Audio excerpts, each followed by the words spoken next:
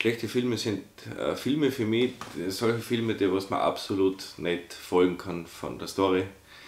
Die was zum Beispiel äh, irgendwelchen Klischees folgen sollte und Klischees mehr oder weniger schon so in Vordergrund gedrängt wird, dass die komplette Story darunter, äh, darunter leidet oder untergeht.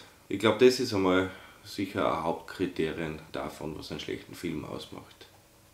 Egal jetzt, ob das jetzt ein äh, visuell perfekt aufgemacht ist, aber wenn die Story irgendwie fehlt oder der Faden verloren wird, dann ist das ganz blöd eigentlich. Das mag ich gar nicht. Ah, fangen wir mit Battleship vielleicht an.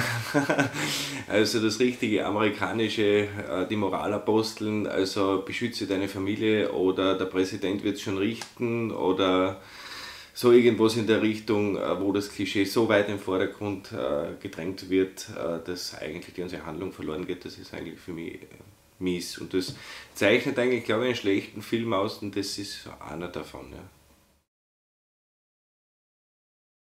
Im letzten Jahr zum Beispiel ein guter Film Gravity, also wirklich mit zwei Schauspielern, da wo die Spannung immer gehalten wird, wo es richtige Spannungskurven gibt dabei mit zwei Schauspielern und der letzte halbe Film eigentlich nur mit einer Schauspielerin.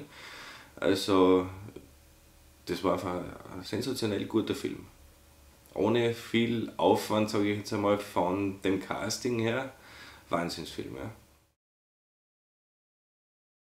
Cadillac Records zum Beispiel. Sensationeller Film, einer von meinen Lieblingsfilmen. Cadillac Records aus den 50er Jahren, äh, Muddy Waters wird da, die ganzen Biografien sind da halt in einem Film äh, zusammengefasst worden und das ist dermaßen sehr gut äh, rübergebracht worden.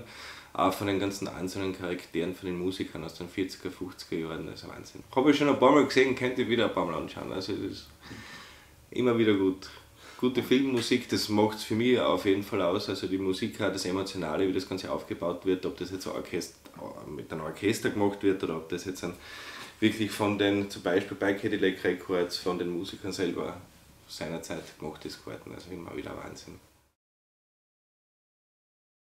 Q-Kit, Q-Kit, ja Wahnsinnsidee.